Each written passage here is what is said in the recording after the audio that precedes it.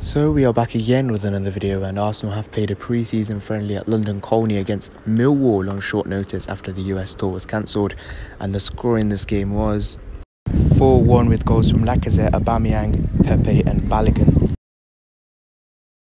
And yeah, we only found out th- today that we were going to play this friendly against Millwall. It was at London Colney, it wasn't at the Emirates or anything, and it was our home.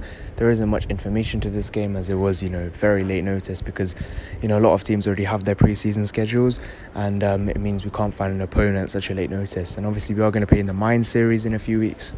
So we need to be playing those games in between. Then some more players are coming back. Hopefully Ben White will be available for that one, and we'll probably play another preseason game without behind closed doors as well, which is the same case for this one. But yeah, that is it for today's video. It's quite a short one, not much um, notice on this one. So thank you guys so much for watching.